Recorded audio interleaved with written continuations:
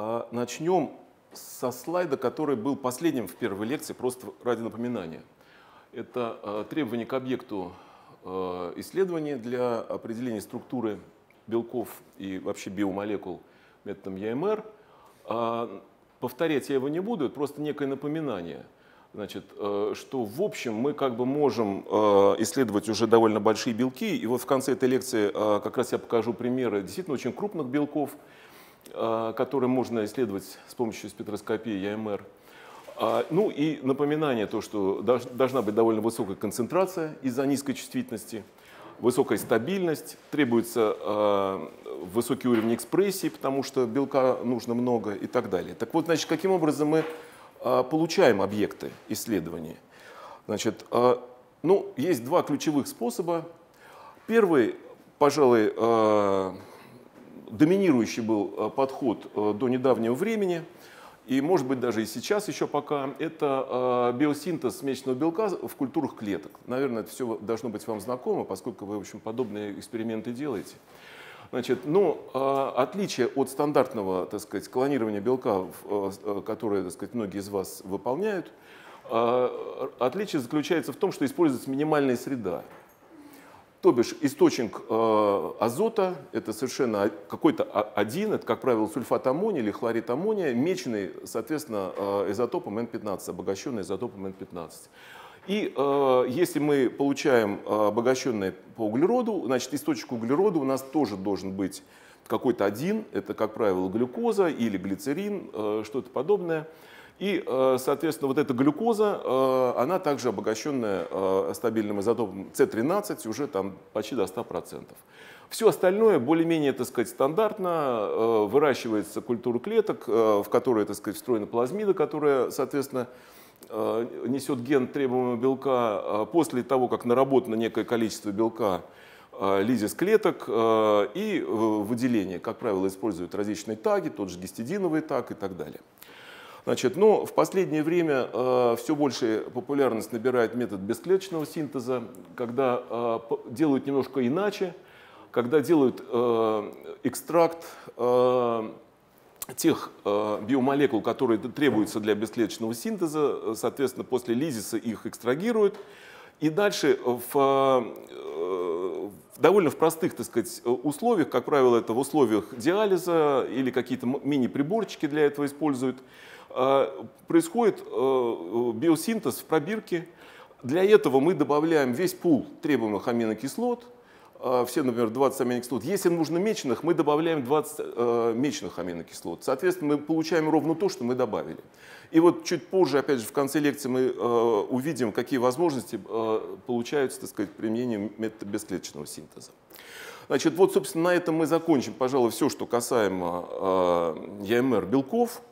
И э, немного, несколько слайдов э, у меня есть по э, тому, как можно с помощью ЯМР исследовать нуклеиновые кислоты. В общем, тоже биомолекулы, тоже регулярные биополимеры. В отличие от белков, тут не 20 различных кирпичиков, из которых слой, э, построены все, так сказать, структуры различные, а там 4. Вот. Э, но, тем не менее, э, есть и там определенные проблемы и, так сказать, подходы для их решения. Значит, ну вот фрагмент цепи ДНК, если мы э, рассматриваем именно э, дезоксирибонуклеиновые кислоты, рибозный цикл, э, соответственно, э, связи так сказать, с э, фосфатами, э, и э, гетероцикл, который, так сказать, пуриновый или пиримидиновый, в зависимости от того, какое э, основание у нас. Соответственно, э, есть, ну, прежде всего, два довольно так сказать, важных конформационных состояния, синанти – при этом э, это вот вращение вокруг этого угла, для синконформации вот этот протон оказывается очень сближен вот с этим протоном, это можно детектировать в спектрах. А, ну и антиконформация, как правило, наиболее распространенная. Можно это все также э, измерять с помощью различных констант смеспинного взаимодействия, которые здесь можно э, измерять в нуклеиновых кислотах, как правило, правда, меченых. А, но так или иначе, это одно э, состояние конформационное. Второе, то, что может меняться, это состояние э, конформации рибозного цикла. Ну, вот два ключевых, так сказать, North Type и South Type, две конформации. Видно, что, например, в одном случае у нас сближены вот эти вот протоны в третьем и четвертом положении, в другом они находятся в транс-расположении. Значит, тут константа между ними э, через три связи будет большая, здесь она будет маленькая, но здесь будет э, маленькое расстояние, значит, большой эффект Аверхаузера. В общем, точно так же можно это все дифференцировать. Значит, ну, на самом деле, конформационных состояний рибозного цикла может быть больше, чем вот этих два. И э, все они описываются таким циклом псевдовращения рибозного цикла. Э, как выходит из плоскости э, каждый вот из этих вот э, фрагментов э, углеродного остова рибозного цикла. Есть некие формулы, которые связывают вот этот угол псевдовращения с реальными диэдральными углами, которые, так сказать, можно описать состояние рибозного цикла. Значит, с этими э, параметрами тесно связаны наблюдаемые константы спинного взаимодействия, которые можно в спектрах наблюдать. Вот этот вот самый угол псевдовращения и как меняются различные константы спинного взаимодействия, которые можно детектировать в спектрах э, ЯМР э, ДНК. Значит, таким образом, вот эта вся информация, она довольно, так сказать, большой пласт структурных данных нам приносит.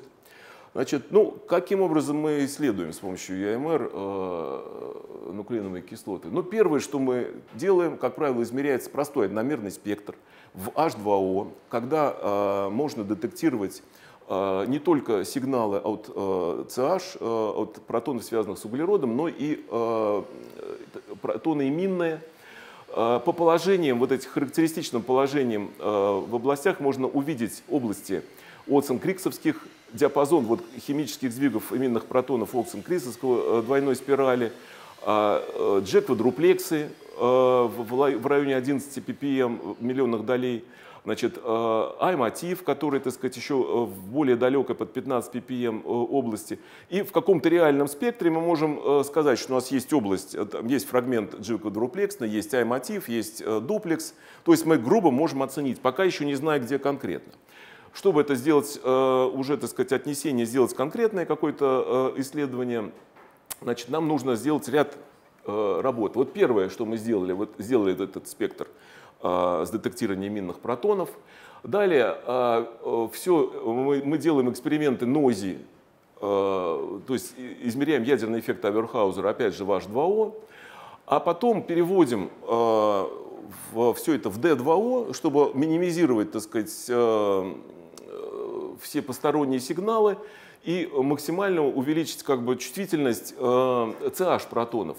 И э, измеряем в спектрах э, в тяжелой воде в D2O спектры нози, кози, C13 HHSQC на естественном содержании без обогащения, потому что метить ДНК это, в общем, история не очень, так сказать, легкая и дешевая. Можно также измерять спектр гетероядерной корреляции фосфора, поскольку фосфор здесь, в общем, э, во всей цепи так сказать, присутствует. Константы через три связи позволяют э, соответствующие спектры э, измерять.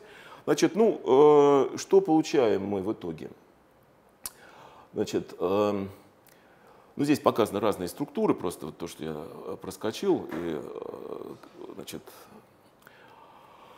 вот здесь показан спектр C13HHSQC на естественном содержании э, фрагмента ДНК. Это фрагмент где-то 30, 31 э, нуклеиновый э, остаток. Значит, области, характеристичные для фрагментов CH во втором положении, два штрих рибозного фрагмента, значит, тимидиновые CH3 группы, которые на самом деле выше, здесь вот это вот свернутое, потому что сократили как бы область по углероду, а, здесь углеродный резонанс, здесь протонный резонанс. Значит, область 5 штрих э, протонов, 3 штрих, 1 э, штрих, 4 штрих и ароматика, так сказать, э, пиримидиновая. А, значит, можно то же самое сделать пуриновая, так сказать, ароматику. Она сигналит вот в этой области. Это на самом деле тоже свернутые резонансы от пуриновых оснований, которые, так сказать, просто имеют химсдвиг в районе 120-150 миллионных долей. Значит, ну, э, если мы посмотрим повнимательнее, например, вот на вот эту вот область, э, видно, как вот пары вот этих вот протонов, два резонанса с одним углеродом связаны. Вот это вот как раз CH2 э, группа. Значит, какую-то информацию уже это несет. Ну, конечно, пока еще отнесение, э, так сказать, на основании этого спектра сделать невозможно, хотя вот тут оно есть, но это уже как бы постфактум.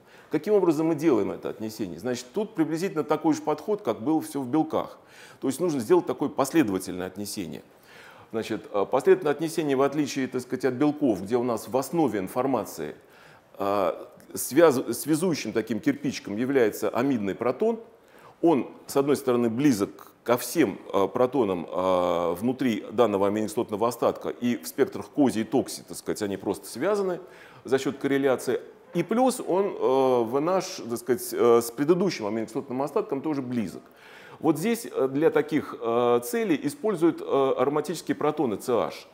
Они, с одной стороны, близки к основным вот этим вот протонам рибозного цикла, Второй момент, они хорошо э, отстоят вообще от всего, что ни было, потому что э, имеют, так сказать, в ароматике сигналы там, в районе 7-8 э, миллионных долей.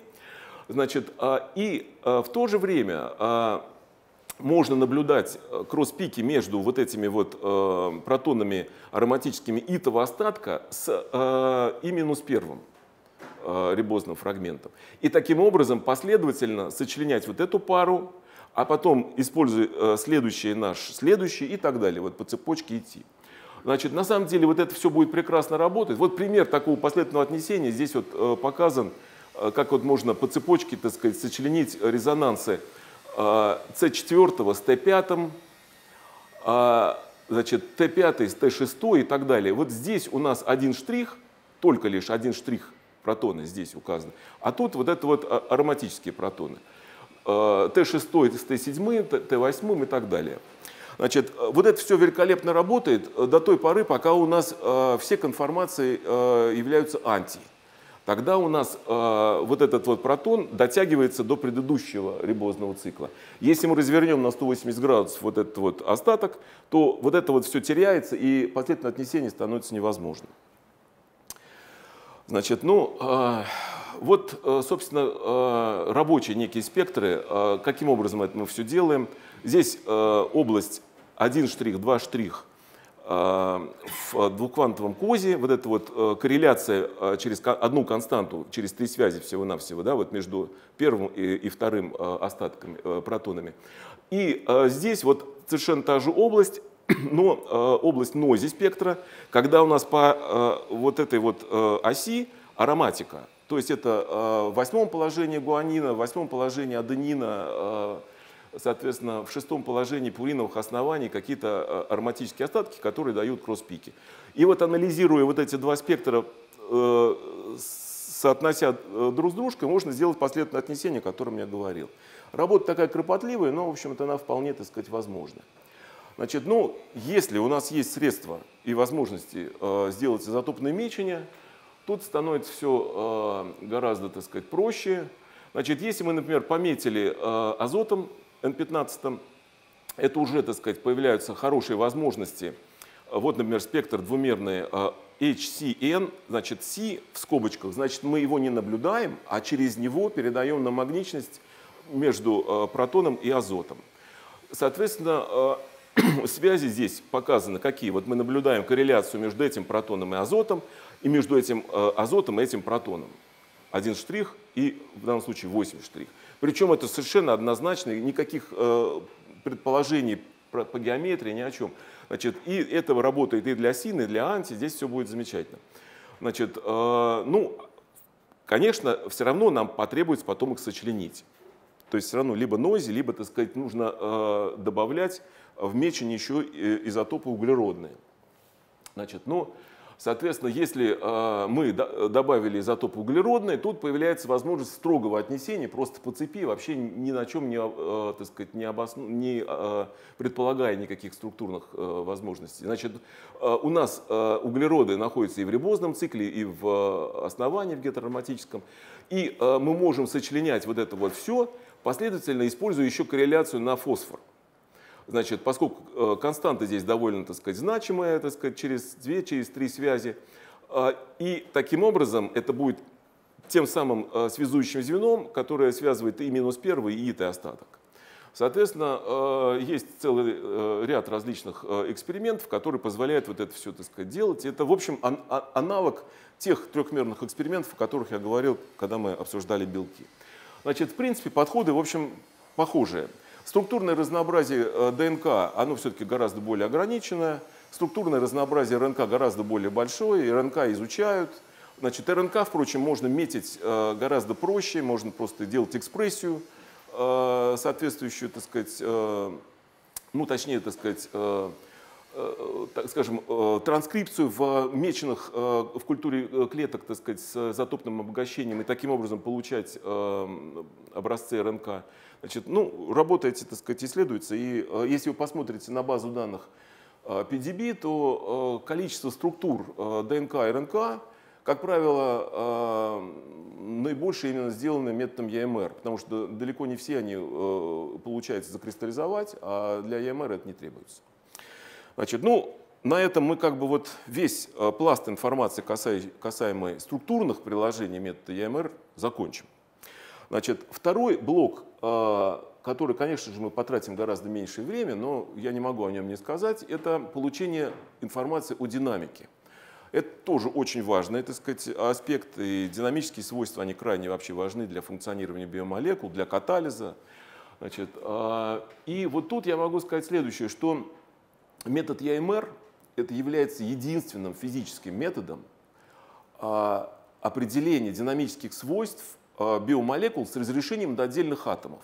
Вот другого, так сказать, метода вы просто не найдете. Есть прекрасная альтернатива, есть значит, и КД, есть э, комбинационное рассеяние света, много всего есть. Они смотрят на все, так сказать, целиком. Как бы. Вот она биомолекула как, как такова. Есть какие-то характеристические движения, там они меняются от одной молекулы к другой, но э, все равно эти методы не скажут, что вот именно эта связь колеблется с такой частотой, а это вот с другой частотой. Мы э, с помощью ЯМР э, можем это делать. Значит, э, какие подходы и какие вообще возможности так сказать, и во временной шкале, так сказать, э, как это все выглядит? Значит, сверху вот на, это, на этом слайде показаны те динамические процессы, которые э, так или иначе ассоциированы с движениями в биомолекулах.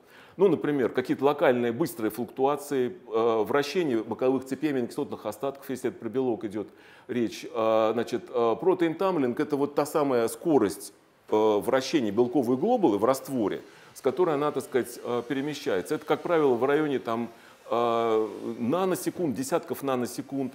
Значит, дальше э, диапазон милли-микросекунды – это катализ, folding-unfolding белка, связывание лигандов. Ну и уже более медленные процессы – это процессы высокоамплитудного раскрытия и закрытия белковой глобулы, которые могут протекать там, от минут до часов – а, это какие-то химические процессы, там, тот же самый, опять же, катализ, только когда мы наблюдаем уже на, на а, субстрате, как он там меняется, накапливается, продукт там, и так далее. Значит, а, и вот, в принципе, вот почти все диапазоны, так сказать, вот этих временных и частотных процессов покрываются разными экспериментами ЯМР.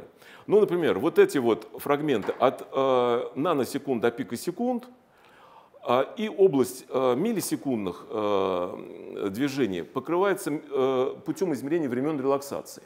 Об этом я сейчас немножко расскажу. Например, очень медленные процессы – это реал-тайм, EMR, то есть наблюдение, так сказать, изменения интенсивности во времени. То есть, вот, например, обмен протонов на, на дейтерий в реальном времени – это вот, так сказать, возможности, которые для медленных процессов. А, область мили, микросекунд, секунд, анализ формы линии, опять же, так сказать, из спектра КМР. Область микросекунд когда-то была просто запретной, но сейчас появились возможности, основанные на анализе остаточных констант диполь-дипольного взаимодействия, то, о чем я в прошлой лекции рассказывал, когда мы делаем измерения в анизотропных средах. Соответственно, и если удастся накопить хороший э, набор э, экспериментальных данных, то мы можем, так сказать, получить информацию и об этой запретной области. Значит, э, ну вот, пожалуй, наиболее таким простым и информативным подходом является измерение времен релаксации и анализ их. Значит, немножко, так сказать, скажу, что такое время релаксации, хотя, в общем, на самом деле вы что-то должны знать об этом. Значит, э, время э, релаксации – это время возврата на магничности от состояния, которое, так сказать, соответствует неравноместному, после того, как приложен импульс магнитного поля и сигнал выведен из состояния равновесия. Равновесие – это вот по оси Z – когда, так сказать, вся намагничность э, идет по магнитному полю. Мы ее вывели из состояния равновесия, и после этого она возвращается, так сказать, с какой-то скоростью э, обратно вот в это вот состояние равновесия. Причем скорости тут могут быть две. Скорость э, возврата на магничности в плоскости XY – это время поперечной, или называется спин-спиновой релаксации, и скорость возврата по оси Z – ну, например, вот если вы посмотрите сюда и вот и сюда, вот тут очень быстро э, релаксирует по, в плоскости XY, а возвращается, например, по оси Z с такой же скоростью, как здесь. Ну, просто разные процессы, здесь, э, сказать, с разной скоростью э, намагничность э, возвращается, э, так сказать, к нулю э, в плоскости XY и к равновесному состоянию э, по оси Z. Все это описывается знаменитым уравнением Блоха, который еще в 50, 50-х годов, так сказать, э, все, это, э, все эти процессы описывают. Значит, ну, это кинетические уравнения. А, но нас интересует не кинетика вот этого всего процесса, а, так сказать, анализ, как это все можно детектировать и как это связать с молекулярными движениями. Так вот, значит, ну, для простоты я скажу такие вот два важных э, положения. Вот эта вот скорость продольной релаксации, она обусловлена осцилляцией магнитного поля, поперечной плоскости XY. А вот поперечная релаксация, напротив, обусловлена осцилляцией или неоднородностью магнитного поля вот в этом самом направлении э, Z, там, где, куда направлено магнитное поле, так сказать, основное. Соответственно, э, вот эта осцилляция, она может представлена быть э, во времени, если мы посмотрим, вот следующим образом. Да? То есть как-то она э, увеличивается, уменьшается. Все это э, флуктуации, почему они возникают, мы об этом сейчас поговорим. Значит, ну, нам нужно как-то все это описать. Значит, вот это все можно описать, вот эту магнитуду этой осцилляции с помощью функции автокорреляции, которая соответствует, так сказать, основана на сравнении величин в некий момент времени t и в момент времени t плюс тау, и мы можем варьировать вот это тау, так сказать, от нуля до какой-то величины, и вот эта вот, соответственно, функция, она будет нам э, описывать, как это все э, меняется. Э, для простой изотропной частицы, которая вращается, вот эта вот функция, очень легко аналитически ее представить, это 1 пятая э, тау на тау c, где тау c время корреляции вот этого вот вращательного движения. Значит, а, ну, вращательное движение, напомню, что это такое. Вот, скажем, это вот движение, вот это белковые глобулы. Если мы представили ее шариком, то это вот то самое время, за которое она на, а, так сказать, пи радиан а, развернется. И связывается эта величина, так сказать, описывается уравнением Стокса-Эйнштейна. Если вы помните, как это, так сказать, белковые глобулы вращаются, значит, здесь вязкость раствора радиус молекул. От радиуса можно перейти к молекулярной массе. А, и эта формула на самом деле, так сказать, очень часто используется. Вот, а, соответственно, а, если кроме вот этого движения, которое ну, шариком, так сказать, представим себе белок, существуют какие-то дополнительные локальные флуктуации. Ну, например, возьмем какую-нибудь связь NH, и вот она флуктуирует сама по себе, с какой-то э, относительно независимостью от движения всей белковой глобулы. Вот тогда вот эта э, функция автокорреляции становится чуть более сложной. Вводится параметр порядка. Параметр порядка о чем говорит? Что если у нас параметр порядка равен единице, значит вот эта вот связь жесткая, и никаких внутренних движений нет. Если параметр порядка равен нулю, тогда у нас напротив, движение вот это вот локальное, оно вообще никак не зависит от э, переворота белковой глобулы. Но это некоторая математика, просто э, чтобы потом был э, чуть-чуть яснее какие-то другие, так сказать, данные формулы. Значит, теперь откуда флуктуации возникают? Флуктуации возникают от, э, э, во-первых, э, диполь-дипольное взаимодействие. Когда у нас э, наводят одно ядро магнитное поле на другом, и вот эта величина э, наведения, она будет совсем разной, когда у нас Э, вот эта пара ориентирована вот таким образом и вот таким образом. Но если мы просто внимательно посмотрим на силовые линии, мы увидим, тут по-разному складывается, вычитается вот это вот локальное магнитное поле с внешним, которое, так сказать, э, стабильное, постоянное магнитное поле магнита. Вот, соответственно, вот это все можно представить некой формулой, так сказать, как зависит от этих э, углов между вот этой парой атомов. Значит, второй э, механизм э, наведения флуктуации – это анизотропия химического сдвига. Ну, простейший пример, если возьмем какое-нибудь, скажем, колечко, бензольное кольцо, или, например, карбонильную группу, значит, у нас э, за счет э, тока пи-электронов наводится локальное магнитное поле. Об этом мы уже говорили э, на первой лекции. Так вот, опять же, вот это вот э, локальное магнитное поле будет по-разному складываться и вычитаться с внешним магнитным полем, э, э, в зависимости от того, какая ориентация вот этого вот колечка относительно внешнего магнитного поля. Соответственно, э, можно описать вот этот вклад э, от анизотропии химического сдвига соответствующим образом. Таких э, значит, механизмов, так сказать, включают и разные другие вещи, как, например, скалярная, спинспиновая, квадрупольная и так далее. Но на самом деле вот эти два, они наиболее важные. Вот, как правило, считают, что вот они описывают там ну, 95-98% точности, так сказать, все релаксационные характеристики. Вот если только их мы возьмем, то дальше можно просто аналитически получить формулы, которые связывают вот эти скорости релаксации, э, скорости э, значит, продольной, спинрешеточной и поперечной, э, R1 и R2, соответственно, с значит, так называемой функцией спектральной плотности. А функция спектральной плотности – это так сказать, функция, которая пришла вот от той функции автокорреляции, о которой исходно мы э, говорили. Соответственно, э, если там, э, так сказать, были времена, у нас здесь в данном случае частоты. Значит, э, ну и, соответственно, вот все это как бы можно легко посчитать. Только остается, так сказать, вопрос, как нам, вот, собственно, э, посчитать вот эти вот э, функции спектральной плотности. Значит, мы не можем это сделать для молекулы, если не, не, дадим какую-то, так сказать, приближение, какую-то модель. Мы можем дать, например, модель, вот это вот называется липария забу, это та самая модель, когда у нас белок рассматривается в виде сферической глобулы, и каждая связь наш может э, какую-то еще внутреннюю свободу иметь. То, о чем я рассказывал раньше. Тогда вот функция, э, так сказать, спектральной плотности описывается вот таким образом, где тот самый параметр порядка, о котором я только что упомянул. Тут можно это усложнять, усложнять там до бесконечности, когда могут быть там два разных типа с разными частотами, так сказать, когда у нас может быть анизотропия вращения, когда в, разных плоскостях они по-разному вращаются. На самом деле это мы сейчас э, углубляться в такие подробности не будем, но даже вот в самом простом вот в этом виде мы получили, наконец, формулу, которая связывает э, фактически выч, вычисляемые наши значения, ну, то есть их можем полностью аналитически вычислить. Значит, э, в то же время мы их можем померить. Да?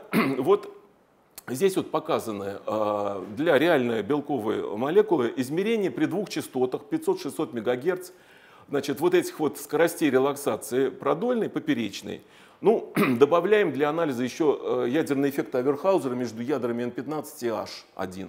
Тоже, так сказать, очень полезная э, и дающая комплементарную информацию, так сказать, величина. Вот если мы это все проанализировали и сравнили с этими расчетными параметрами для различных моделей, то мы дальше можем получить э, относительно амплитуду движения белковой цепи э, вот в этих вот быстрых временах от пика до наносекунд. С какой скоростью, так сказать, движутся. А, и вот видно, что, скажем, бета-остов вот этого белка, бета-листовой, он практически жесткий, а вот какие-то петли, видите, так сказать, имеют высокую амплитуду. Вот это вот получено из анализа, так сказать, экспериментальных данных времен релаксации. Значит, ну, это то, что касается очень быстрых движений. Если мы, например, почему мы, так сказать, упираемся вот в эти пика наносекунды? Потому что мы можем увидеть и рассчитать вот это все до э, того времени, с которой белок вращается, так сказать, в пространстве, в, в растворе. Вот это вот время корреляции его движения. Все, что быстрее можно отсюда э, рассчитать, все, что медленнее, маскируется вот этим вот движением. Оно доминирует фактически. Все, вот оно отсекает дальше временной диапазон. Все остальное нужно как-то по-другому делать. Значит, ну вот как по-другому? В миллисекундной время, в шкале времени можно э, по ширинам оценить э, скорость конформационных переходов из одного состояния в другое. Вот, э, например, у нас есть состояние одно, состояние второе. Тут один химический сдвиг, тут второй. Вот, например, это один химический сдвиг, вот второй. в зависимости от скорости обмена между ними, а у нас в спектрах ЯМР либо будет наблюдаться две линии, которые соответствуют этим двум состояниям, либо, когда скорость начинает обмена все возрастать и возрастать, они постепенно э, скалисцируют в такой один широкий сигнал, а потом постепенно становится даже сужаться. И вот эта усредненная величина, которая равна просто э, средней величине химсдвигов между ними. Вот это все можно проанализировать, это анализ э, полной формы линий, и получить эти данные, так сказать, по э, скоростям вот этим.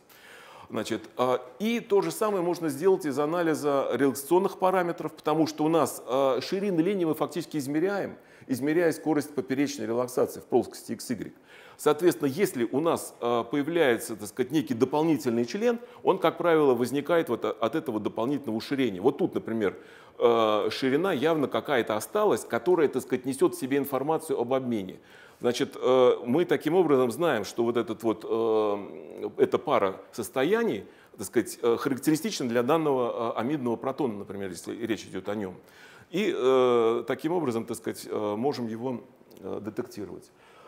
Ну, например, э, можно и более сложные какие-то процессы, вот, например, вращение э, ингибитора триметаприм в центре связывания с белком, дигельфатредуктазой. Э, значит, анализ формы линии здесь довольно сложная характеристика, потому что тут смесь комплексов там, в разных формах.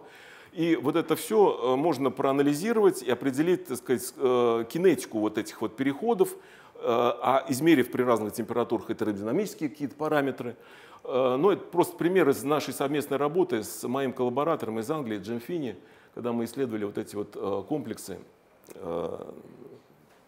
довольно важного в фармакологическом плане белка. Значит, ну и, пожалуй, последнее, то, что касаемо динамики, это вот когда совсем медленное движение. Да? Вот то, что сейчас я показал, это миллисекунды.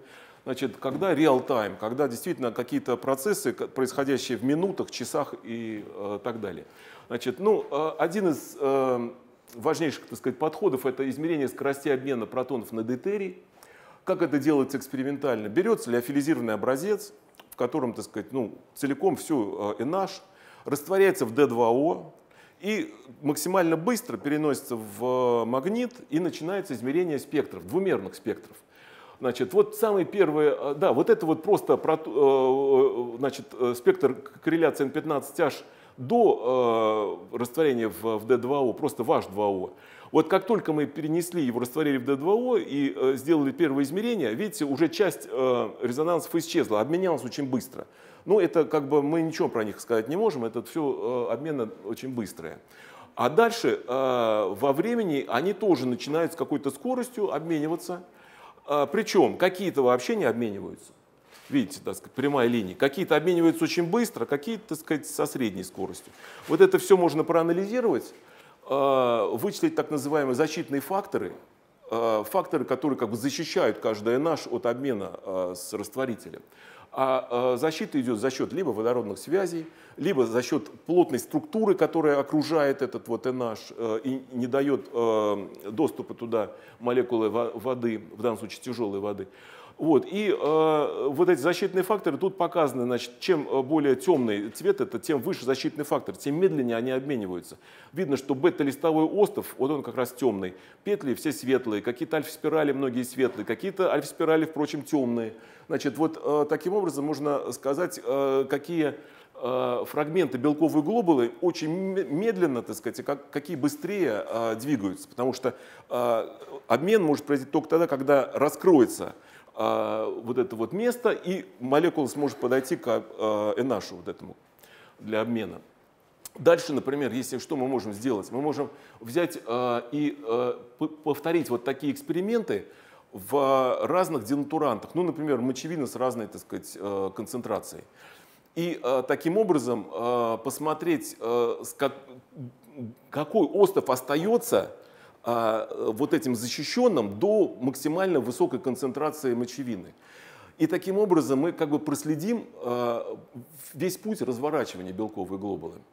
Значит, а если мы логично подумаем о том, что э, путь разворачивания и путь сворачивания это некие обратные друг другу процессы, Таким образом можно смоделировать весь путь сворачивания белка. И вот методы ЯМР по мониторингу вот скорости обмена протонов на дейтерий являются так сказать, ключевыми подходами для определения пути фолдинга белка. Где зародыши, откуда начинается сворачивание и так далее.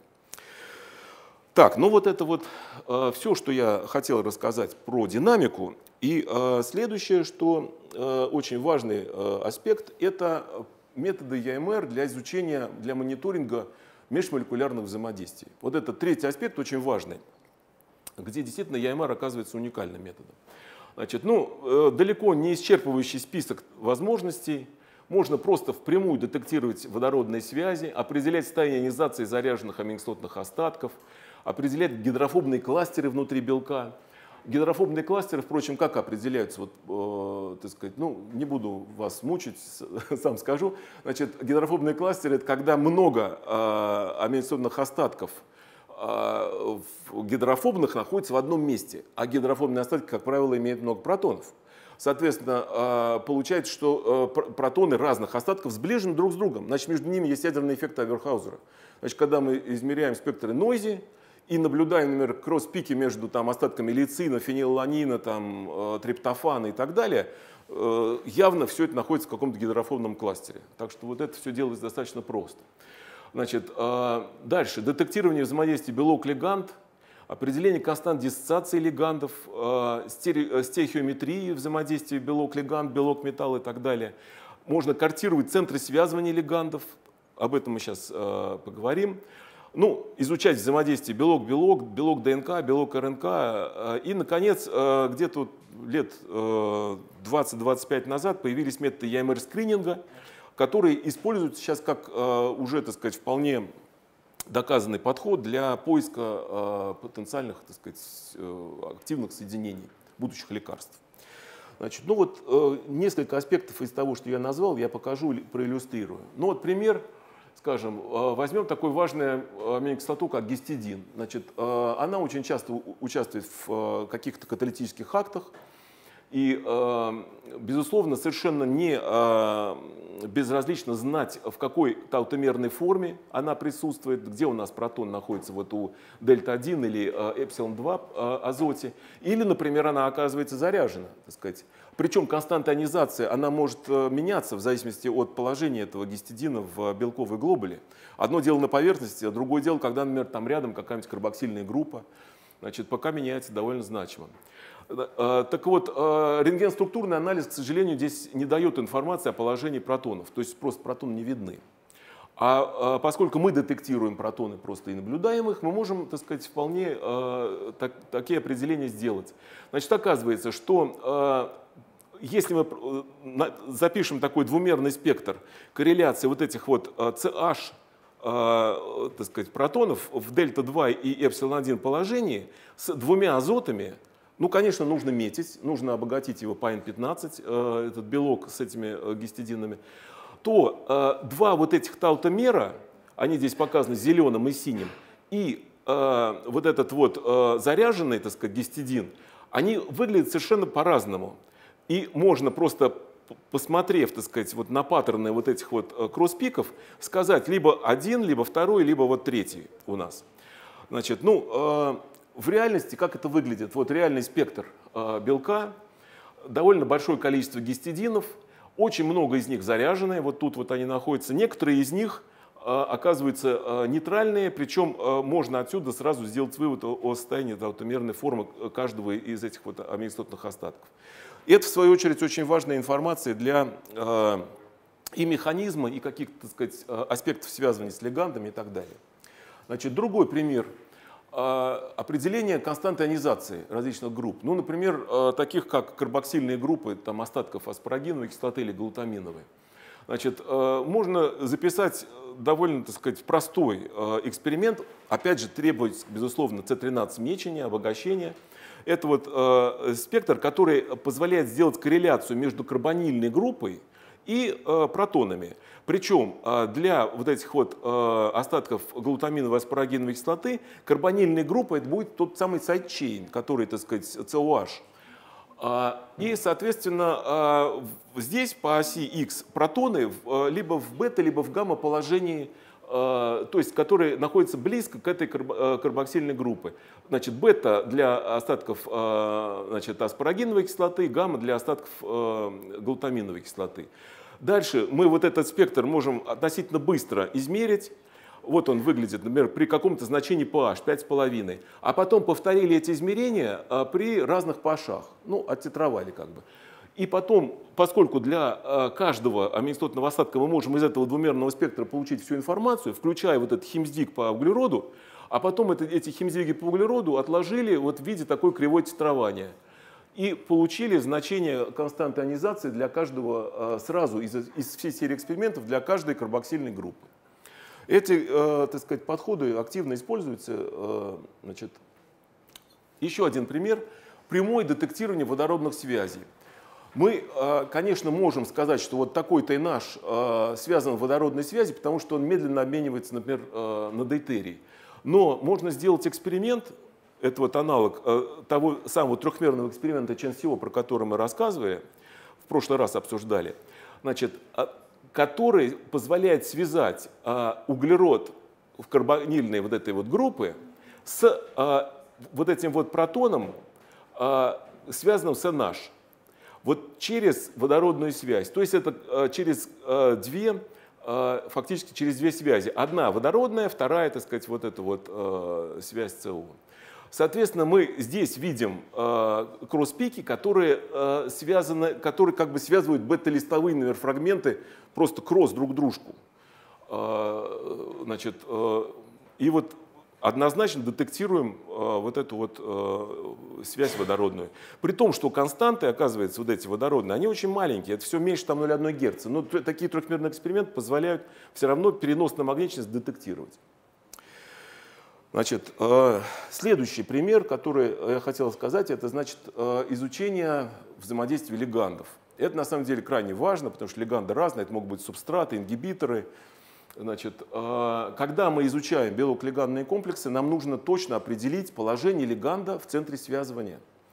Значит, а, ну, в принципе, как можно это сделать? А, нужно определить какие-то контакты между легандом и аминокислотными остатками белка. Первый подход, мы можем взять леганд и пометить его, например, стабильным изотопом, и таким образом однозначно идентифицировать вот этот вот резонанс и потом посмотреть, а к чему же он там близок, на какие, какие эффекты Аверхаузера, на какие протонные, э, э, белковые, так сказать, э, протоны, они, так сказать, переходят на магничность, то есть с чем близко. Вот. Но очень часто, оказывается, пометить легант, то есть сделать химический синтез там, С13 обогащенного органического соединения гораздо дороже, чем пометить целиком белок потому что за нас белок метят бактерии, растя, так сказать, на среде там, с э, глюкозой С13 меченой. А тут нужна сложная химия, так сказать, много этапов выделения, и потери большие и так далее. То есть цена на самом деле большая. Вот. В этом случае можно сделать э, альтернативный эксперимент, который э, значит, использует целиком С13 меченый белок и не меченый С12H легант и специальные методики C13 э, изотоп rejected, то есть как бы выключение всех э, кросспиков, которые соответствуют C13H парам. Вот они все выключены в нем. И тогда остается только C12H. Вот тут на этом слайде показан комплекс э, ну это сложный кофактор, большой, не меченый, э, с полностью C13 меченным белком. И вот по вертикали у нас только резонансы вот этого NADFASH, больше ничего. А приходят они по горизонтали ко всем разным, так сказать, сигналам э, белка. Мы уже знаем по химическим сдвигам к чему, и таким образом можно, так сказать, картировать э, его точное положение, рассчитать структуру. Ну вот один из, э, так сказать, первооткрывателей, те, кто предложил этот подход, это вот Роберт Каптейн, поэтому фотографию я здесь его привел. Значит, ну и вот тут, если уж мы начали говорить о легандах, я перед тем, как мы перейдем к подходам там EMR-скрининговым, Хочу показать еще один так сказать, эксперимент из давней нашей работы, это уже, наверное, лет 30 назад. А, на самом деле, вот этот вот эксперимент был найден довольно случайно. А, исследовали мы, так сказать, э, фермент дигидрофатодуктазу, который я уже показывал, здесь несколько слайдов. Значит, и исследовали, э, раствор был в фосфатном буфере всегда. Я сейчас уже не помню, по какой-то причине вдруг вот мне пришло в голову перевести вместо фосфатного буфера в трис. И вот в трисе, так сказать, ну, сделали диализ против триса, так сказать, сделали, так сказать, спектры.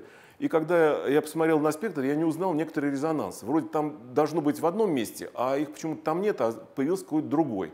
Что-то меня насторожило, и я решил, думаю, сделаю э, эксперимент по EMR-титрованию, то есть добавление просто фосфата, как бы вернуть его вновь 300, так сказать, к фосфату исходному, с которым мы уже привыкли. Может быть, в этом дело, почему они исчезли-то. Вот. И вот тут вот эксперимент, который, вот, собственно, это вот э, показывает. Здесь как бы э, наложено э, много-много спектров двумерных друг на дружку при увеличении концентрации фосфат-ионов. Вот он, вот так вот, так сказать. Некоторые сигналы, видите, как сдвигаются. Вот. Причем некоторые сдвигаются так, что вот я как раз и не смог их узнать.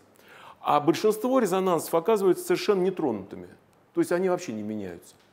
А теперь вот посмотрите, после того, как э, я взял, вот подписал вот эти все, но они известны, кто из них, все, так сказать, как бы отнесение уже было сделано, я просто это наложил на структуру, и оказалось, что сдвинулись только те остатки, которые окружают три фосфатные группы вот этого кофактора надфаш. То есть, получается, вот этот эксперимент оказался – он как бы высвечивает сайты связывания фосфатной группы в составе большой молекулы. То есть фосфатная группа, она как бы кирпичик большой молекулы. Но тем не менее мы изучали не, не вот этот надфаш, а просто взяли просто фосфат и картировали, где же они находятся, когда у нас такой большой легант. Вот тут э, оказался, так сказать, мостик к э, подходу, который сейчас принят, так сказать, в методах поиска э, лекарственных препаратов, так называемый fragment-based drug design, то есть э, поиск молекулярных фрагментов, вот этих кирпичиков. Значит, э, когда мы э, ищем, ну, можно, например, с помощью высокопроизводительного скрининга взять, насинтезировать миллион соединений – с всего-навсего 100 разными фрагментами, да, и весь миллион взять, скринировать и найти какое-то лучшее, которое, так сказать, связывается очень прочно с белком и которое потенциально может быть интересно как будущее лекарство. Да? А можно взять просто каждый из этих 100, взять всего-навсего, так сказать, 100 экспериментов и, и найти, какие из них э, связываются. Отобрать из этих 100 всего там вот 3 а потом сочленить их соответствующими линкерами и в итоге прийти ровно к тому же. Здесь у нас миллион стадий синтеза, здесь у нас всего 100. Вот вся разница. То есть насколько это более, так сказать, экономически э, выгодный эксперимент. И э, я помню, это был 96 год, как раз там конференция одна была в Штатах. Э, это было, кстати, спустя уже э, некоторое время, как вот э, сделал эксперимент про фосфат, вот титрование. И вот я помню, там как раз на этой конференции был э, и Стефан Фесик из Abbott Laboratories, Э, рассказывает метод э, картирования вот этих вот центров связывания легандов и предложил метод SAR by NMA. Значит, Structure Activity Relationship by NMA. Значит, ровно то же самое. Я поначалу подумал, а что здесь нового-то? Ну, новое и новое, так сказать, а это вот сейчас запатентованный метод, и, так сказать, а, огромное количество фармацевтических компаний используют эти вот подходы для создания новых лекарств. Так что, в общем, оказалось, что важно вот эти, казалось бы, очевидные вещи, но вовремя, так сказать, представлять, как некую технологию, так сказать, и э, использовать ее. Значит, э, что он предложил? Мы действительно ищем в каком-то одном сайте путем титрования разными молекулярными такими маленькими фрагментами, значит, и находим какой-то фрагмент, который реально, так сказать, связывается здесь, вот, например, в этом сайте. Потом берем какой-то другой э, близко расположенный сайт в этой биомолекулы, и там начинаем титровать, и находим какой-то другой фрагмент. Ну, потом немножко можно пооптимизировать структуру, чтобы они попрочнее там связались, каждый из них, а потом надо поискать линкер, который, так сказать, их свяжет друг с дружкой. Так вот, э, здесь, когда мы, так сказать, э, находим этот линкер, то посмотрите, что получается. Афинность вот этого фрагмента, например, 2 миллимоля, а, микромоля, извиняюсь, да? здесь 100 а, микромоль, то есть это, в общем, миллимолярная, так сказать, афинность. После того, как мы их сочленили, 19 наномолей. Это эффект от, э, вот, от того, что мы как бы выгадали на там, трансляционной вращательной энтропии. У нас как бы двигаются не, они не порознь, а вместе, как одна молекула. И вот это уже дает несколько порядков э, выгоду, так сказать, в афинности. Этот подход действительно сейчас стал широко использоваться. Вот. Ну, э, на самом деле этот вот сарбайнама используется, э, но для этого нужно метить белок, нужно вот делать вот эти вот сложные эксперименты, и э, иметь большие количества белка, значит, это дорого. Есть вот какие-то ограничения, то есть большие количества белка требуется, чтобы белок был растворим, все-таки концентрации никуда от этого не уйдешь. Значит, белок не должен денатурировать или агрегировать. И, естественно, нужно обязательно метить его изотопами N15, C13, иначе мы не сможем эти быстрые двумерные эксперименты измерять. Ну и размеры. А, ну, 20-30 килодальтон, в редких случаях чуть побольше. Но как бы дальше просто становятся слишком широкие линии, мы просто не сможем а, весь этот анализ сделать. Но а, в последние годы появились еще альтернативные подходы. Значит, о чем идет речь? Мы можем наблюдать не белок, а, собственно, сам легант, который мы ищем, как вот он будет связываться с белком. А свойства большого белка и свойства леганда принципиально различны. Это ровно с чего я начал первую лекцию как вот сильно различаются свойства крупных молекул и малых. А в чем различие, напоминаю, крупные молекулы – это медленное броуновское движение, у маленьких легандов быстрое. Отсюда следует быстрая релаксация, то есть широкие очень линии. И напротив, медленная релаксация, значит узкие линии. Отрицательное значение эффекта Аверхаузера. Здесь положительный знак меняется вообще. Значит, медленная трансляционная диффузия э, или быстрая. Есть методы трансляционной диффузии в методом ЕМР измерять. Значит, все у нас практически меняется. А когда леган связался с большой молекулой, он полностью приобрел свойства большой молекулы. То есть вот это все изменилось на это. Если, э, если легант не связывается, ничего не меняется. И вот отсюда появляется, так сказать, возможность. Мы можем э, брать э, ситуацию, когда у нас даже большой избыток свободного леганда, он у нас связывается и дисцирует как-то, и наблюдаемое свойство леганда будет доля связанной формы на свойство связанной, плюс доля свободной на свойство свободной формы. Ну, это очевидная, так сказать, формула. Но когда у нас вот это свойство связанного леганда меняется драматическим образом, включая изменение даже знака эффекта Аверхаузера, то вот это вот наблюдаемое свойство может измениться очень сильно. И э, в итоге, так сказать, мы можем либо по ширине либо, либо по э, скорости э, релаксации, эффективность переноса на магничность, вот это все наблюдать. И вот просто двумя экспериментами проиллюстрирую, которые вот мы постоянно сейчас, так сказать, делаем в наших работах. Значит, один такой эксперимент называется Saturation Transfer Difference, STD. Опять же, если вы откроете какие-то работы, очень часто вот эту вот аббревиатуру вы увидите в последние годы. Значит, что это такое? Значит, а, опять же, если вы помните начало первой лекции, я говорю, что есть много очень плохих свойств у биомолекул, но есть одно хорошее, очень высокая дисперсия химсдвигов. У нас сигналы наблюдаются минус 2 миллионные доли, минус 1, там, плюс 11, там, 10 и так далее. Так вот, если мы возьмем э, белок, внимательно посмотрим на его одномерный спектр и увидим какие-то бугры, там минус 2 миллионные доли, значит там есть протоны. И никаких протонов, никаких легандов там быть не может, просто по определению. Они туда никогда не резонируют. Значит, и вот мы берем, начинаем э, в течение не, нескольких секунд насыщать вот эту вот область э, резонансов, которая только соответствует белку. Дальше идет очень быстрая спиновая диффузия, передача от протона к протону по э, вот этой большой белковой глобулы, и на магничность дотягивается до леганда, если он побывал в сайте связывания. Значит, а э, не связывающий элегант никогда тут не побывает, тут ничего с ним не происходит. Значит, вот мы берем такую смесь двух легандов, связывающийся не связывающийся, и, э, значит, просто контрольный эксперимент, когда ничего здесь не насыщаем, или насыщаем пустую область, которая вообще никак не связана с этими вот э, протонами. У нас вот интенсивность одного, второго. А теперь сделаем вот тот самый эксперимент с насыщением вот этой области чисто белковый, и увидели, что интенсивность леганда, который побывал в сайте связывания, немножко уменьшилась за счет вот этих эффектов насыщения. Дальше мы делаем разностный спектр, вычитаем один из другого. Здесь, поскольку ничего не менялось, все это занулилось, а вот тут у нас оказался э, э, вполне себе не нулевой э, сигнал остаточный. Таким образом, вот в этом разностном спектре мы будем наблюдать резонансы только тех легандов, которые способны связаться с белком. И, соответственно, это вот активно используется этот метод. Второй метод, который э, тоже э, а, активно э, используют, этот метод основан на свойствах воды, которая окружает и крупные биомолекулы, и леганды. Но э, вот тут вот кросс-релаксация, вот это взаимодействие, так сказать, э, посредством эффекта Аверхаузера между э, маленькой молекулой воды и большой молекулой белка – а, здесь кросс-релаксация отрицательная, а тут она положительная. Значит, если мы сделаем вот такой же разностный эксперимент, но на основе возбуждения сигналов воды, мы можем увидеть следующую картину. Вот, например, э, берем э, просто смесь легандов, 10, скажем, легандов, вот здесь вот показано, и у нас просто обыкновенная, так сказать, резонанс из этих вот смесей легандов. А потом записали вот этот вот спектр, о котором я э, говорю, называется Water Loxy, Water Ligand Observed Gradient Spectroscopy, и увидим для какого-то одного измененная э, полярность, так сказать, за счет э, именно различные вот это вот э, знака кросс-релаксации. Он изменил именно потому, что он побывал внутри вот этого белка, и, и там, так сказать, у него знак э, эффекта Фаберхаузера, взаимодействие между протонами иной, чем в свободном состоянии. Соответственно, э, мы таким образом из этих 10 легандов детектируем вот этот один связывается.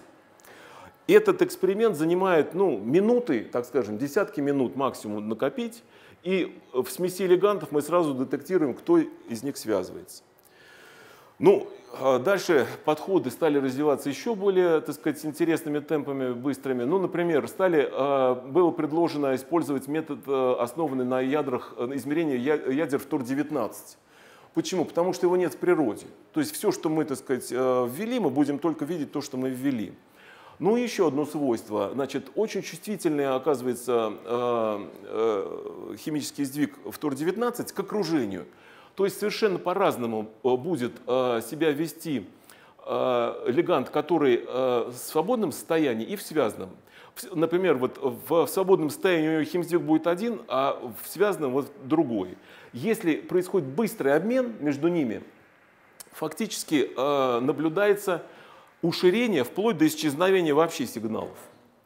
Соответственно, э, теперь э, делается следующее. Мы э, делаем специальное такое тестовое вещество, меченное вот этим вот втором. Называем его, ну, авторы назвали его спай, так, шпион. Да? Но это фактически некий, так сказать, тест, тест, так сказать, вещество.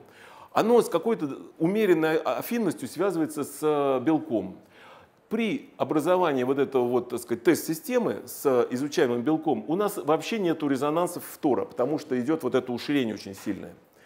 А теперь мы добавляем в эту тест-систему э, легант, который, например, связывается прочнее, и он вытесняет э, вот этот вот э, соединение шпион, и он у нас ярким образом, так сказать, появляется на спектре. Все, мы его увидели. Таким образом, можно детектировать появление вот этого вот э, резонанса после того, как конкурентно его вытеснили из э, нашей тест-системы. Вот пример э, методов, которые на этом основаны. Метод назвали факс. Значит, по аббревиатуре, вот она, так сказать, Fluorine Chemical Shift Anisotropy and Exchange for Screening. Клаудио Далвит из Италии вот это вот предложил.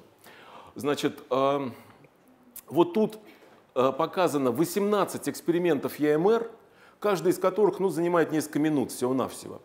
А, и в каждом из эксперименте по 10 разных э, потенциальных, так сказать, э, ингибиторов, то есть тех соединений, которые могут вы, вытеснить вот, этот, вот это соединение в ТОР-19 мечное. И просто взяли вот эти 18 экспериментов, ну это значит там ну, где-то час работы, а потом просто их взяли друг с дружкой, просто сочленили так для, для простоты. Вот у нас 18 экспериментов. И вот в 14 смеси одно из 10 соединений показало, э, вытеснило вот этот вот э, фтор-19. Ну, осталось только найти, какое из этих вот э, 10 э, легандов сделало эту работу. Но это на самом деле недолго, максимум еще 10 таких экспериментов. И мы нашли соединение, которое с высокой афинностью связывается с белком. При этом концентрация испытываемых соединений а, вот этих вот фтор-19 и вообще легандов 50 микромоль, то есть концентрация довольно маленькая, концентрация белка полтора микромоля. То есть мы уже от ЯМРных вот этих вот значений приближаемся все более и более, так сказать, к таким э, характеристичным для, не знаю, флуоресценции, там, масс-спектрометрии и так далее. Но дальше тот же Клаудио Далвит э, решил еще более, так сказать, э, развить этот метод и говорит, а если мы будем не одиночный фтор, наблюдать, а, например, много эквивалентных фторов. Ну, например, возьмем C-фтор-3 группу, или две эквивалентных C-фтор-3 группы, или вот таких вот, например, там 4 эквивалентных CF3 группы, значит, э, то, соответственно, чувствительность еще возрастет. Тут она в 12 раз возрастет. И действительно, все работает. И вот, пожалуйста, с помощью таких подходов, с помощью вот таких вот меток фтор-19, значит, измерялся вот этот вот 12 FABS, это вот как раз когда э, 12 фторов, Значит, детектировали ферментативную активность трипсина. Значит, вот тут добавлен ингибитор, а здесь его, так сказать, нет, здесь субстрат. И в итоге мы наблюдали вот это ингибирование при концентрации фермента 5 нано, пикомолей, я извиняюсь, пикомолей. Значит, а концентрация ингибитора 20 микромоль. То есть э, по белку мы вообще вышли уже, так сказать, э, в область, э, ну точно уж соответствующим аспектометрическим чувствительностям. Вот такие вот любопытные подходы позволяют, так сказать, делать вот эти методы поиска. Значит, EMR-скрининг, на самом деле, это не только поиск легандов, связывающихся с белком, но еще и стратегии модификации структуры молекулярных фрагментов – и вот это вот все вместе как раз и есть АМР-скрининг. Ну, об этом у нас просто ни времени, ни возможности подробно говорить нет, но мы можем на каждой стадии контролировать с помощью вот этих вот подходов ЯМР, э, так сказать, детектирования, что меняется в спектрах, постепенно усложняя структуру, так сказать, наращивая какие-то боковые цепи. И вот так последовательно от 2 там, миллимоль афинности мы приходим там, к 10, там, 200 пикомолем, так сказать, афинности вот этого вот продукта. И таких работ очень много. А, вот, например, какая-то тоже работа а, поиска значит, ингибиторов P38 протеинкиназы. А, в итоге 200 наномолярная так сказать, афинность. Вот этот метод Shapes предложен. Ну, люди, так сказать, ищут не просто какие попало фрагменты, но еще, так сказать, анализируют все это на предмет правил Липински. Э, так сказать, какие-то структурные ограничения, чисто эмпирические правила, там не больше пяти доноров водородной связи, 10 акцепторов водородной связи, масса, э, там и, э, значит, соответственно, распределение октанол-вода должен быть там логарифм не больше пяти. Но так или иначе, в общем, вот эти подходы, так сказать, активно стали использоваться.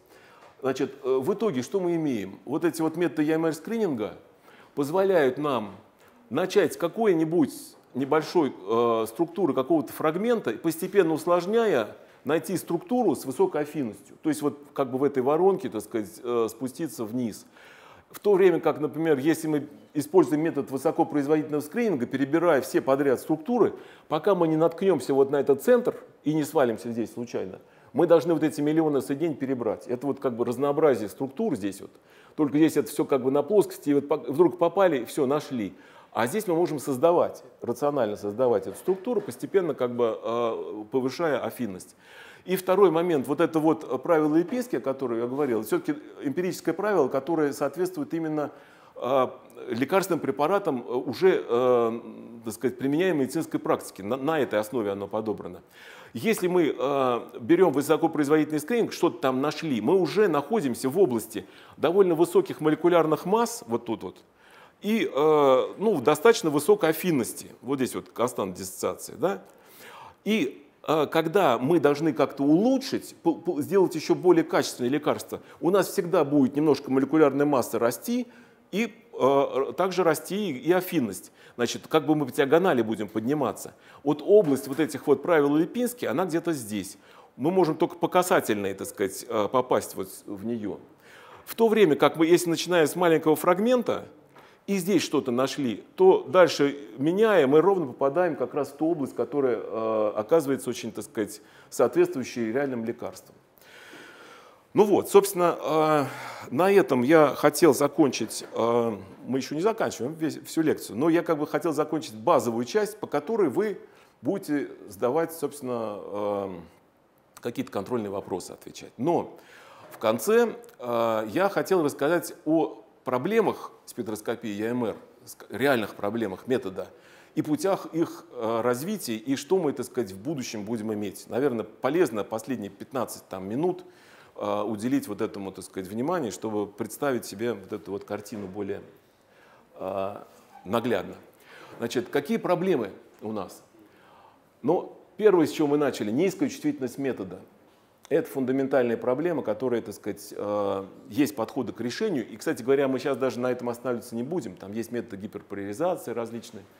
Но, тем не менее, значит, второе, ограничение на размер изучаемых объектов. Помните, да, что мы э, говорим э, там 30-50 килодальтон, дальше тяжело, все становится очень широкое, невозможно с этим работать. Значит, очень большое время требуемое для проведения многомерных экспериментов. Сутки, недели. Значит, тоже как-то с этим нужно бороться. Сложность анализа экспериментальных данных. Значит, и, э, наконец, высокая стоимость оборудования, высокие эксплуатационные расходы. Ну вот, пожалуй, вот это вот э, мы здесь никак не сможем э, побороть, потому что цены на спектрометры все растут и растут. Цена, скажем, на современный там, спектрометр где-то 800-850 МГц, это где-то не меньше там, 9-8 миллионов евро. И, в общем, ну вот с этим как-то нужно жить. Вот. Но все остальное можно э, наметить какие-то пути преодоления. Совершенствование самих спектрометров, разработка новых методик, разработка методов изотопного э, мечения, создание э, новых методов анализа данных. Вот насчет чувствительности. Смотрите, если мы посмотрим на такой график, это э, фирма Брокер как-то на своем сайте э, показала вот этот график. Значит, как с 70-го года до 2000, вообще говоря, 7 года менялась чувствительность э, спектрометров ЯМР по стандартному тесту. Стандартный тест это 0,1% этилбензол. Ну, вот просто сигнал к шуму по линии по этой. Так вот, значит, в 70-х годах это было 16 к 1. Потом постепенно, ну, совершенствовались спектрометры, появились, так сказать, сверхпроводящие магниты, вот это все росло, росло. Потом, значит, вроде немножко как бы замедлилось. Вот. Но э, дальше, э, э, тем не менее, все равно как бы вот оно росло. Но э, уже когда вроде бы все пошло на спад, появились, так сказать, э, новые технологии, криодатчики. Что такое криодатчик? Это датчик, где вся электроника заморожена до состояния абсолютного нуля, ну там плюс 5 Кельвина. То есть охлаждается фактически жидким гелием. Значит, при этом э, тепловой шум, вот когда, так сказать, э, ну, я не знаю, когда движение, так сказать, электронов в проводниках, вот, вот это все, э, там минимизирован фактически. И, соответственно, вот тот шум, который идет от вот этих вот процессов, он практически сведен э, до минимума. Соответственно, когда это сделали, а это достаточно охладить буквально самые первые каскады предусиления. Как только мы усилили там в несколько сот раз, дальше все это уже не важно становится. Так вот, как только мы ввели технологию криодатчиков, так сразу у нас э, опять это все пошло вверх. Сейчас это где-то лежит в районе там, 17-15 тысяч к одному. Видите, какой про прогресс за этот период. Но самое интересное другое. Обратите внимание, что эта вот шкала, она, вообще говоря, логарифмическая шкала. А в первом приближении вот этот вот наклон, он линейный. То есть у нас идет такой экспоненциальный рост э, чувствительности. И он пока, пока еще продолжается. Когда он, так сказать, закончится, еще не ясно.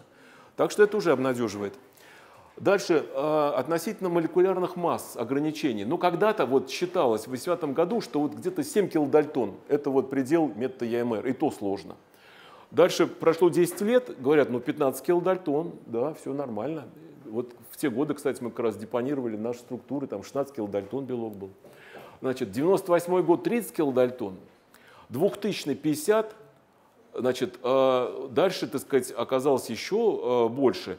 И я покажу примеры вообще мегадальтонных, так сказать, объектов, которые изучаются методом ЯМР.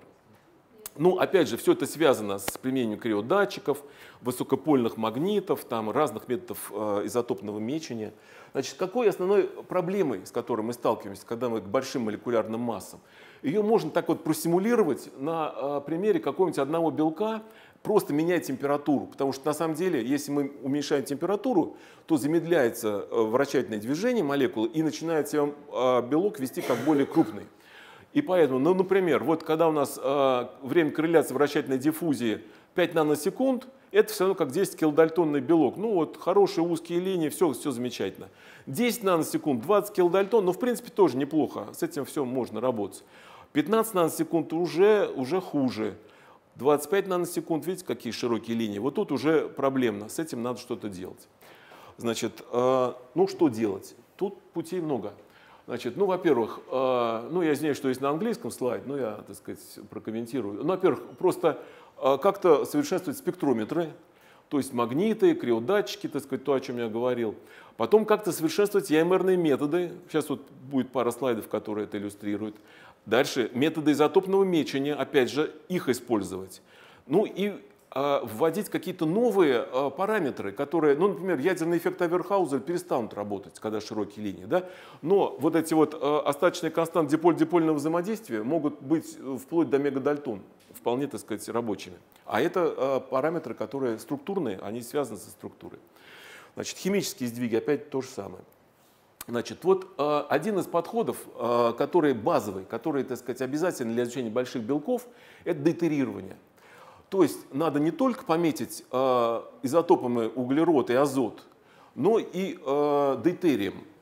Значит, для чего это делается? Вот посмотрите, у нас есть какой-нибудь наш, да, вот этот амидный протон, который мы детектируем, и вокруг него четыре протона, ну просто близко расположенных. Каждый из них наводит флуктуация магнитного поля, о котором мы говорили, и в результате линия становится очень широкая. Теперь мы берем и делаем э, значит, замещение вот этих вот э, протонов на дейтерий, а и наш оставляем. Каким образом это мы делаем? Вот можете предложить? Ну, не будем время тратить. Значит, мы просто выращиваем в тяжелой воде. У нас все меняется на дейтере, все. Но когда мы растворим белок в H2O, то никогда CH не поменяются обратно, так сказать, ну, CD, они были как дейтерий, так они останутся, а ND обменяются обратно на, э, на протоны из H2O, потому что это обменивающиеся протоны. И таким образом у нас останутся одинокие и наши на фоне сплошной дейтерированной молекулы. Вот, и э, ситуация э, станет гораздо лучше. Вот результат э, как эффект дейтерирования. Вот тут вот нет никакого дейтерирования. И в эти какой широкие линии, сложный спектр и так далее. Ровно та же молекула с всего-навсего 75% дейтерированием. Он насколько стали более узкие линии. Они сузились, потому что, так сказать, э, диполь-дипольная релаксация минимизировалась очень здорово. Значит, ну и вот э, так вот выглядит, например, резонанс, когда вокруг протоны, а вот так вот стал узким резонанс, когда у нас э, э, все это поменяли на дейтерий. Это вот дейтерирование, это базовый подход, который обязателен практически всегда. Второе, мы можем на фоне этого ввести какое-то селективное мечение.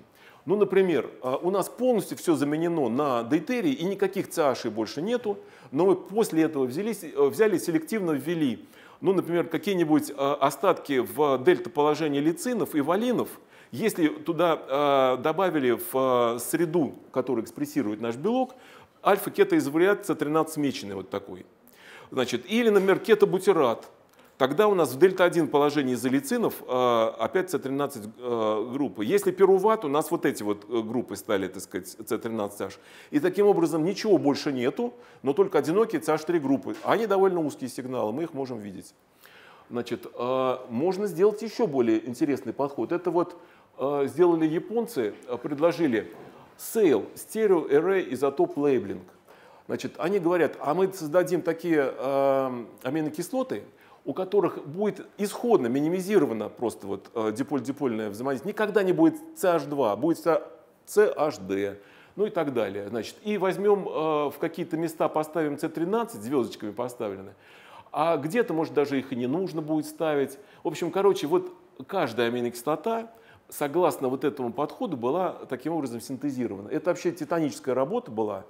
Вот. И цена вообще вот этой смеси 20 аминокислот, вот таким образом меченных, она очень большая. Но дальше можно использовать вот этот вот cell-free э, экспрессию, так, такой смесью, и в итоге получить э, очень высококачественный, так сказать, э, спектр. Здесь будет слайд, сейчас покажу. Ну и, наконец, можно э, сделать еще такой, так называемое э, сегментальное мечение. Когда у нас есть большой белок, а мы его как бы разделили на две части. Один метим, другой не метим, а потом наоборот, этот э, значит, не метим, этот метим. И вот этот сложный большой белок становится простым. Структура не, не поменялась, но, так сказать, мы можем порознь каждый из них проанализировать. Значит, соответственно, вот этот подход тоже используется. Ну, вот так вот, например, выглядит упрощение сигналов, когда мы вот этот вот SAIL мечение, значит, у нас э, большие широкие сигналы после вот этого SAIL мечения становятся все очень узким и красивым. Вот тут широкие линии, а тут, как они сразу э, вытянулись, стали более интенсивными и узкими. Значит, э, ну, следующий момент, который крайне важен, вот кроме вот этих всех подходов и кроме базового дейтерирования, значит, э, это методики. Значит, э, одна из важнейших методик – это метод Трози. Значит, э, сокращение это Transword э, э, значит, Optimized Spectroscopy. То есть это как бы спектроскопия, оптимизированная по поперечной релаксации, вот этой вот самой в области XY. Значит, ну, на чем это все основано? Если мы возьмем просто спектр HSQC, корреляции N15H, у нас будет некий вот этот вот сигнал один, ну, достаточно широкий. Мы можем сделать такой аналог КОЗИ э, между, так сказать, ядрами N15H, у которых будет дублет по протонам, дублет по азотам. И когда мы внимательно посмотрим на ширину вот этих четырех э, э, линий, оказывается, они очень разные. И самый узкий, вот этот вот один низкий, э, значит, внизу справа, причем, а, почему он низкий? У него просто а, а, как бы друг друга вычитают скорость релаксации диполь-дипольной, анизотропии химического сдвига. Они зануляют друг друга, и он становится очень узкий. Значит, подход основан на чем? Вот это как выглядит. Видите, вот эти вот широкие, а этот узенький. Значит, подход основан на том, что мы элиминируем вот эти вот три резонанса, и накапливаем вместо вот этого среднего вот этот вот крайне правый, а тут ничего не оставляем, но зато он гораздо уже, чем вот этот.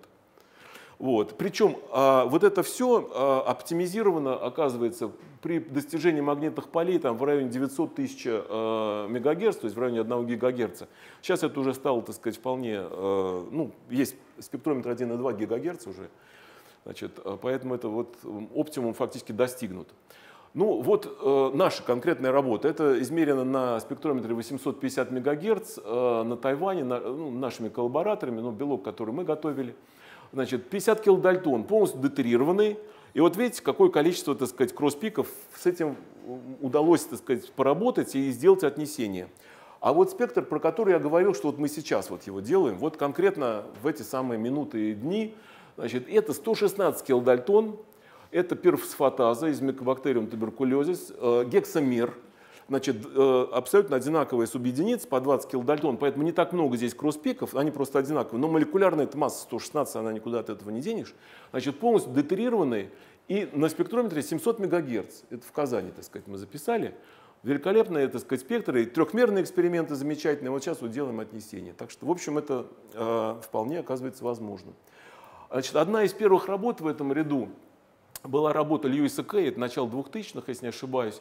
Это где-то 80 килодальтонный белок, ну, это э, мономер, но вот такой довольно сложный. Видите, какой сложный, но очень хорошо разрешенный спектр трози. Удалось сделать полностью отнесение, потом структуру с помощью, так сказать, ЯМР посчитали.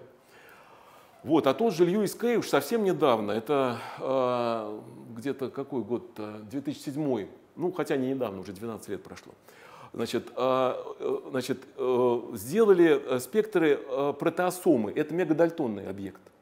Значит, а, при том, что они полностью его детерировали и ввели в специальное положение вот этих CH3 изолицинов, лицинов, вот эти C13H остатки. И записали спектры трозии вот этих вот на, на C13H.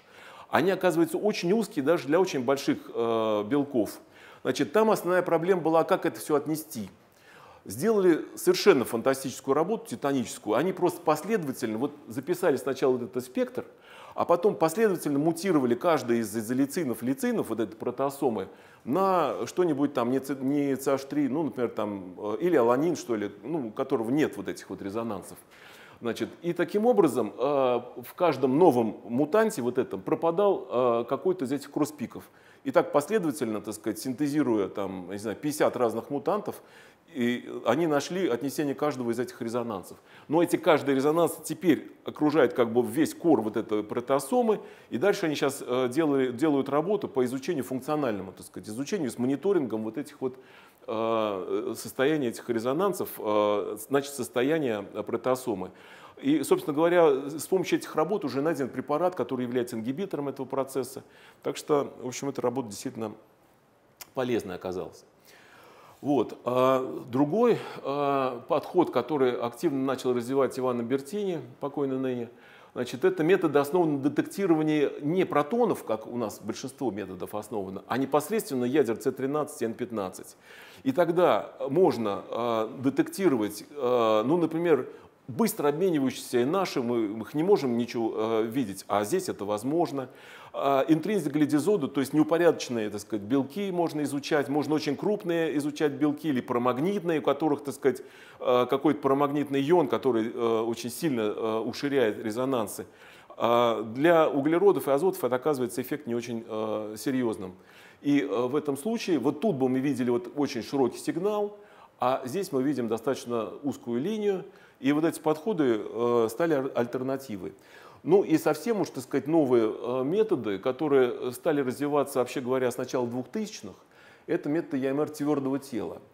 Значит, в твердом теле вообще нет ограничений на молекулярную массу, потому что там и так все заморожено. Да? Но проблема только в том, как со всем этим разобраться. Вот первая работа э, Харма Тошкинат в 2002 году сделал первую структуру белка относительно небольшого, полученной с помощью ЯМР твердого тела. Депонирована она в PDB. Значит, с тех пор прошло э, 10 с небольшим лет, и вот в 2014 году была депонирована структура э, Адам Ланге, э, и вот какие-то фрагменты здесь спектров показаны.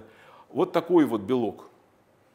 Э, значит, э, то есть это вообще говоря, ну, он, правда, единственное, в чем, так сказать, э, как бы объяснение, что у него много однотипных альфа-спиралей, их много, и они как бы дублируют там друг друга. То есть можно будет, э, проанализировав как бы один сет данных, дальше просто вот этот весь набор получается.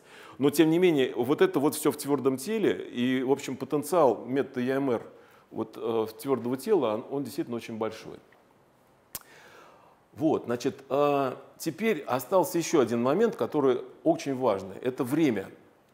Время, вот если мы посмотрим, накапливаем 3D-спектр хорошего качества. Нам нужно накопить матрицу спектров, ну, например, там 256 на 128. При этом каждый индивидуальный э, спектр это тоже еще 8 накоплений, чтобы сигнал к шуму поднять. И, предположим, каждый вот этот скан это полторы секунды. Вот если мы сейчас все это перемножим, у нас 109 часов. Это вот типичный, нормальный, так сказать, трехмерный спектр, 109 часов. Значит, а если мы, например, захотим 4D там, или 5D, это все можно, то даже для простенького такого 4D спектра 218 часов. Про более крупное уже говорить невозможно. Значит, а что с этим нужно делать? Вот, ну, тут э, не будем время тратить на перечисление, сейчас просто покажу, какие подходы.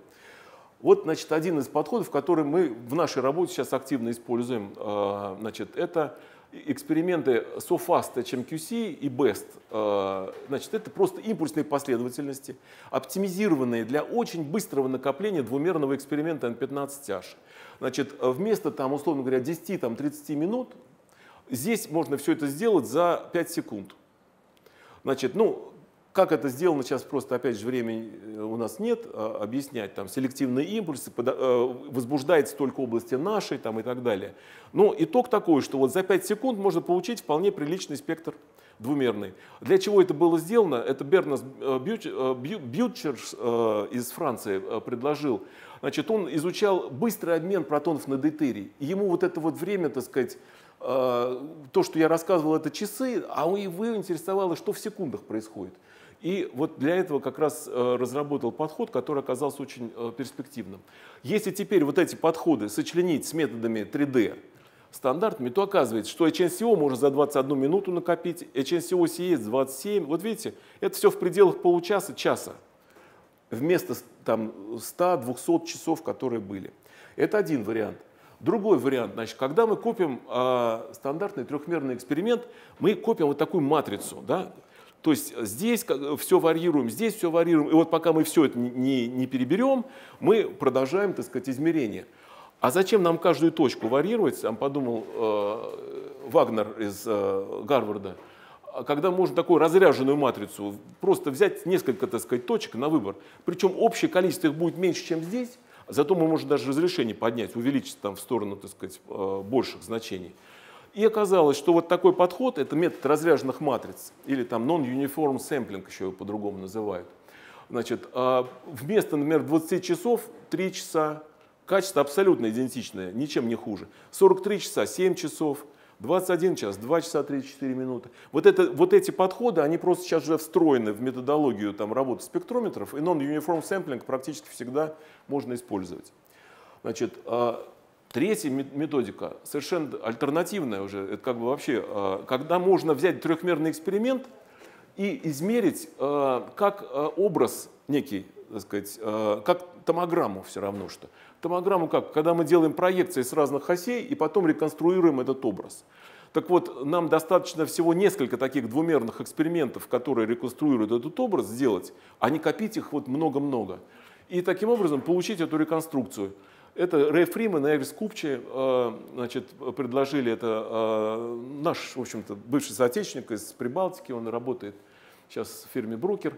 Значит, э, 1 час 30 минут, трехмерный эксперимент великолепного качества. Причем это совершенно другая, другой подход.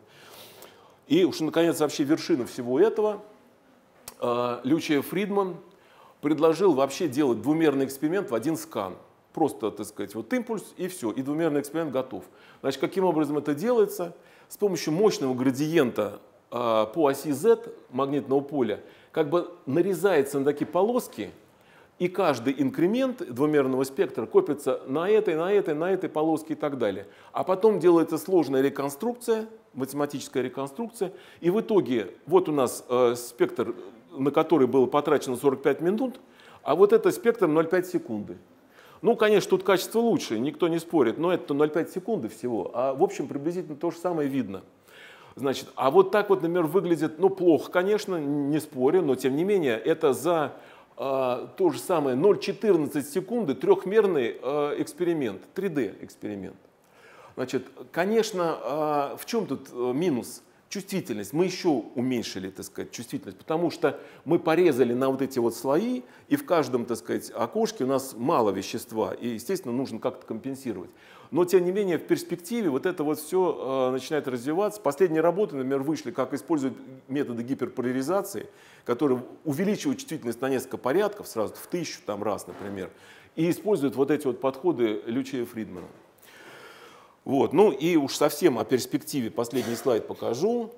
Это то, что сейчас вот ток-ток начинается активно. Причем все работы, которые в этой области ведутся, это публикации в Science и Nature. Кстати, вот тут сплошняком, по-моему, они показаны. Вот Science, Science, ну и так далее. Значит, методы основаны на чем? Значит, а, а в основном, конечно, это все связано с увеличением чувствительности. Это самый главный наш, так сказать, бичка, с которым надо бороться. Так вот, значит, а, предложено было следующее, что берут э, наноалмазы с так называемым НВ-центром. НВ-центр это что такое? Значит, в, одном, в одной точке вместо атома углерода у нас атом азота, а в соседнем месте вакантно нету ничего.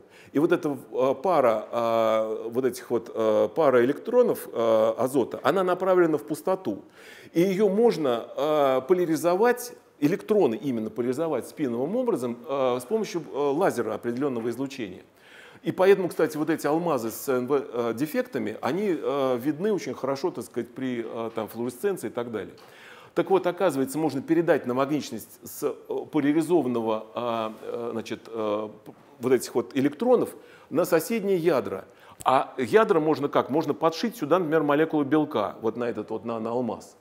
И таким образом, так сказать, наблюдать резонансы каскадом таких процессов, как бы возбуждая с помощью э, лазеров, э, оптически накачивая э, поляризацию электронов, с электронов на ядра, ну и вот эту вот цепочку, так сказать, связав между собой. Вот здесь вот довольно сложный каскад и частот, и лазерных излучений. И в итоге наблюдать на многие-многие порядки более чувствительно все. И э, в перспективе вот эта понравилась мне картинка, она, конечно, это просто так рисунок, но тем не менее, как в будущем на основе вот этих вот наноалмазов, так сказать, с НВ-центрами, типа томографа в клетке, значит, плавает и структуру молекул как томограмму, так сказать, изучает. Но, в общем, это, конечно, пока просто иллюстрация такая просто э, фантастическая, но, в общем, э, скорость, с которой вот это все меняется, на самом деле, не исключено, что приведет к тому, что это будет реальностью, там, условно, лет через 50, там, 40.